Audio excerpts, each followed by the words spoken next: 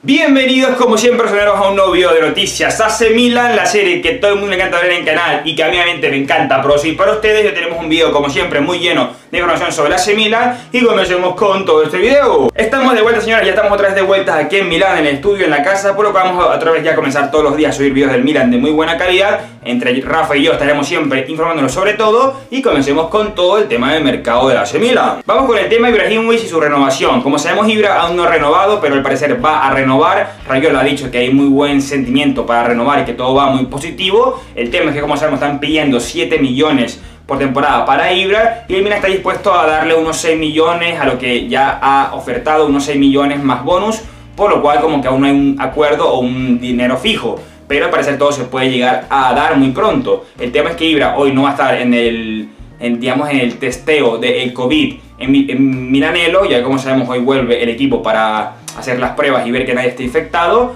Ibra no va a estar por ese tema de la renovación, pero esperemos que esté muy pronto y que todo se pueda llevar a buen puerto rápidamente, ya que Ibra, como sabemos, es una insignia de, este club, por más que sea viejo y por más que lo que sea, señores, es Ibra y yo creo que a lo mejor pide mucho dinero, pero se puede llegar a un buen acuerdo. Con el tema Bakayoko cada vez está todo más a punto de darse, al parecer el Chelsea cada vez está más digamos, pacífico para, digamos, para venderlo. El tema es que podría salir ahora con una fórmula de sesión más opción de compra para el AC Milan. Me parece algo muy bueno, ya que si el Milan le da tiempo para probarlo y para reunir ese dinero para ficharlo, lo cual me parece muy bien, ya que a lo mejor que si, todo sale mal y no rinde, pues aún el Milan se puede quitar ese problema de encima y no comprarlo, así que me parece algo muy bueno. Al final el que está, digamos, insistiendo demasiado para venir es Bakayoko, ya que no tiene como que otra forma o otro destino en su mente y que obviamente quiere volver al Milan, el Milan también lo quiere, por lo que me parece una muy buena opción y puede que se dé muy pronto, esperemos obviamente que yo les dé estas noticias ya del fichaje dentro de muy pocas semanas o días. Dime tú si estás de acuerdo en la llegada de Bakayoko o te gustaría otro jugador en la medular del Milan. Oficial, Pizzari se une a las filas del Regina, este, este equipo que está en la Serie B de Italia y que ya está peleando o va a pelear seguramente para el ascenso, junto con jugadores como Menés, Mastur, el tanque Denis, jugadores de renombre. Se une Pizzari, me parece algo muy bueno para que esté ahí de una sesión por un tiempito y que sube el nivel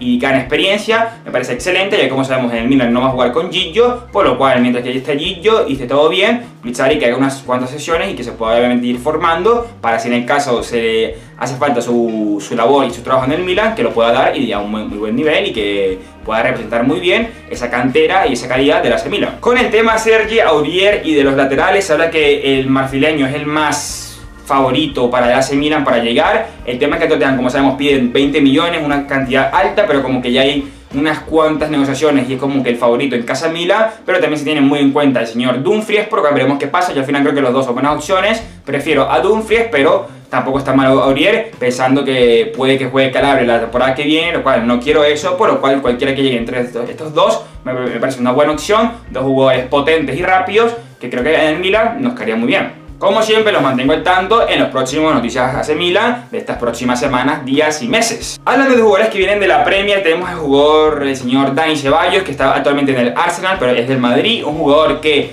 me parece una buena opción para el AC Milan porque aparte podría llegar cedido, por lo cual es algo muy bueno para irlo probando y ver si con una opción de compra y si va todo bien se puede comprar. Un jugador que tiene mucha calidad, que lo vi con España sub-21 y me gustó muchísimo y también lo, vi con el Madrid obviamente, por lo cual, ¿por qué no? Me, parece una buena opción de buen precio y creo que es un jugador que puede dar el salto de calidad en cualquier momento, ya que siempre le he visto buena técnica en sus pies. Con el tema Hakan, pues al parecer como que también se habla de que su renovación está demasiado pronta a darse y que el jugador, como sabemos, pide 3 millones, pero que como que a parecer el Milan se los podría dar, se está ahí medio negociando, pero son de las prioridades del equipo, pero esperemos que se pueda dar y que Hakan se quede, yo creo que es muy complicado que Hakan se vaya, ya que como sabemos se ha hecho una figura importante del Milan y que él también ama mucho al equipo, por lo cual no creo que se vaya y creo que a, se va a dar muy pronto para que jugar siga siendo el jugador de la Milan y que esté todo bien. Habla que el Milan se mete a la puja por el señor Seseñok, este jugador lateral izquierdo del Tottenham, que lo quieren aparecer ceder, el equipo de los Spurs, y el Milan lo querría para hacer el recambio de, de Teo la temporada que viene. Me parece algo bueno porque al final Teo va a jugar todos los partidos, por lo cual tampoco hace falta un jugador de mucha calidad en su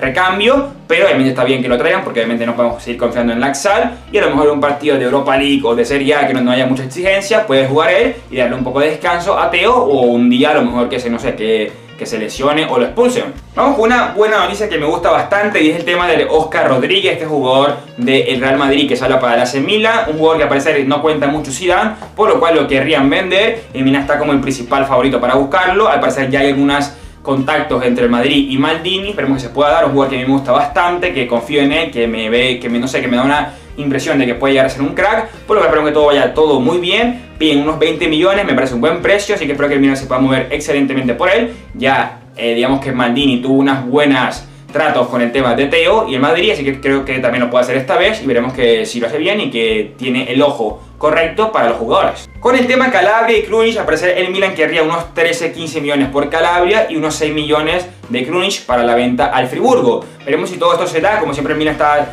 como que teniendo la prioridad en el tema de las ventas y ya después va a comenzar a comprar bastante más fuerte y más continuo. Veremos que se, si se da todo bien y si va todo a buen camino. Yo creo que se puede dar. Cada al final no se va a quedar en la semilla, luego muy complicado y aparte lo, lo quieren vender por el tema de que jugador sería una plus Valencia o una ganancia total y Cruz también porque al parecer no cuenta para nada con él el señor Pioli. Uno de los nombres que vuelve a la escena es el señor Zaubin, un jugador que me gusta mucho, campeón del mundo con un gran rendimiento en el Marsella. Me parece una buena opción, hay varios equipos detrás de él, Arsenal, Chelsea, pero mira, también ha estado siempre pendiente de su, de su momento y de su situación actual. Veremos cómo va, yo creo que es un jugador que puede llegar al Milan y hacer una diferencia y que costando 20 millones no me parece un precio muy complicado para nuestro equipo. Uno de los que están muy pero muy cerca de hacer Milan es el señor Miranchuk, que al parecer el Milan ya está muy pronto a hacer una oferta oficial por el jugador, un jugador que llega o que puede, llegar a, buen precio, con buen nivel, por lo cual, por, ¿por qué no? Yo creo que puede cumplir y ser un jugador que en el Milan le vaya bien. Oficial Ricardo Rodríguez, nuevo jugador de El Torino, llega por 3 millones más bonus.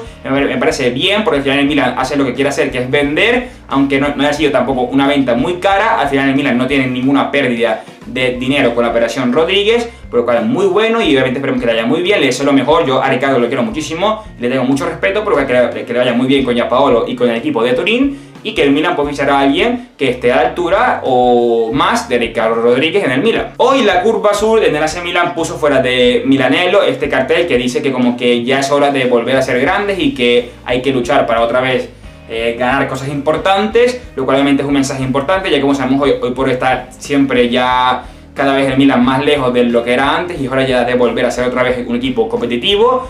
Ya vemos como ejemplo que está ganando otra vez la Champions el Bayern, el Liverpool y ya nos soplan aquí el aire detrás de nosotros, ya que tienen 6 Champions y nosotros 7, porque es hora de otras decisiones de ganar, de volver a ser grandes y que otra vez el Milan vuelva a pelear por la Europa y por todo. Aquí tenemos una imagen de nuestra dirigencia, Maldini, Gazidis, Mazzara, viendo el partido del Milan femenino, que ya volvió a la acción, por lo cual muy bueno, siempre veo como que este grupo muy compacto, de nuestra dirigencia. Así que muy bien, yo confío mucho en Maldini y también en el trabajo que ha hecho debajo de, la mesa el señor Gasidis, que aunque no sea muy llamativo, es demasiado importante. Ya casi para terminar, se habla que Reina está casi hecho ya para la, Lazio, eh, sería para ya para firmar un contrato de dos años y el Milan se ahorraría con su salida 6 millones, por lo que es algo muy pero muy bueno, es que se vaya Reina para la Lazio, también está ahí por ahí peleando el Valencia, pero al parecer el equipo de la Roma sería el equipo que al final escoja Reina, me parece bien, el Milan sabrá dinero, Reina va a jugar, por lo cual es perfecto. Y por último, el tema de Thiago Silva se veía imposible, señores, el Milan como que no tiene o no está dispuesto a traer a un jugador de más de 30 años, como ya es Thiago Silva, y el jugador se podía ir a firmar dos años de contrato en el Chelsea, me parece bien para los dos, al parecer yo creo que está bien, porque o sea, Thiago al final tiene una edad ya bastante alta y creo que es mejor fichar un jugador más joven, pero aún así puede ser una buena opción para este mercado, ya que es un jugador que como sabemos tiene una gran jerarquía y aparte ama al Milan. Y eso fue todo señores por el día de hoy, fueron muchas noticias como siempre aquí en Pipo York, como siempre gracias por estar aquí en el canal, por esperarme, después de, mi vacaciones ya estoy de vuelta, también gracias a Rafa que ha estado todos estos días subiendo aquí vídeos en el canal y que va a seguir junto conmigo subiendo aquí buen contenido del Milan aquí en Pipo York. Como siempre nada, me despido señores, pues aquí dejen sus eh, tengo me canal, son buenísimos. También la segunda nación en canal, mi Instagram, Pipo York. Y como siempre, lleguemos a esos mil likes en este video. Y nada, me despido, como siempre, Forza Mila y hasta la próxima.